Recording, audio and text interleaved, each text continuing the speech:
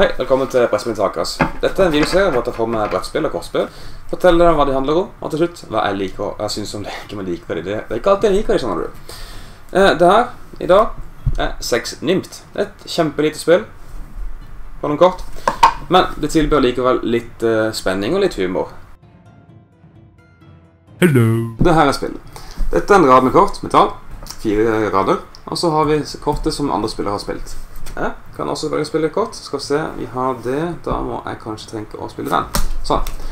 Og så avslører vi kort samtidig. Høy, høy og høy. Det laveste kortet går først. 51.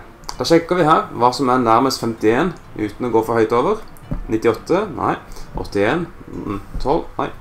Jo, 12. Det er mer enn 12. Men det er også mer enn 50, så det er nærmere. Så da går vi der. Neste er 85.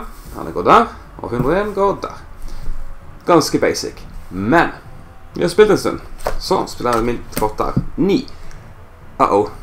9 er ikke høyere noen ting her. Så da må jeg ta inn en rad. Jeg kan f.eks. ta inn alle kortene der og legge 9 der som erstatning. Dette her det er poeng i slutten av spillet som jeg ikke vil ha. Poeng er ikke bra i spillet her. En annen måte kan skje på se, 101 sånn. Det er hvis jeg spiller 46. Det er min tur. 46 går der. Hvis jeg er den som forårsaker det sjette kortet til å komme, så får jeg alle disse kortene istedenfor. Og disse, dette går igjen. Og det er masse minus som jeg ikke vil ha.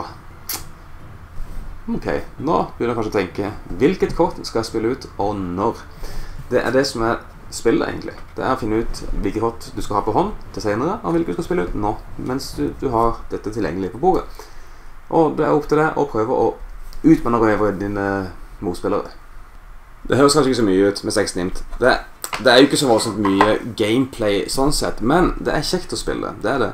Det er veldig lett å lære seg, og det er mye latter rundt bordet, og det er mye stønning rundt bordet når folk tar inn eh, kortene sine.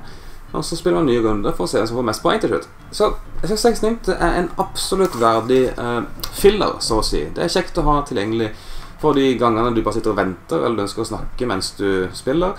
Og bare ha det, ha det, kjekt, egentlig. For det, det, er ganske mye moro for et så enkelt spill. I tillegg så kan du faktisk spille et spill som heter The Game med disse kortene her. Og de reglene finner du på nett.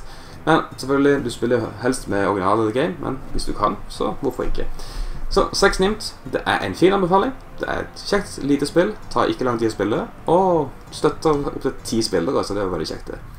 Ok, takk for at du så på. Jeg håper å se deg igjen i neste episode. Og husk, det her kan kjøpes på gameson.no, og de leverer kjapt. Så vi snakkes.